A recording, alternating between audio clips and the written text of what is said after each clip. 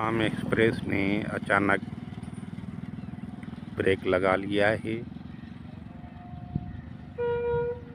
Diamond cross के करीब।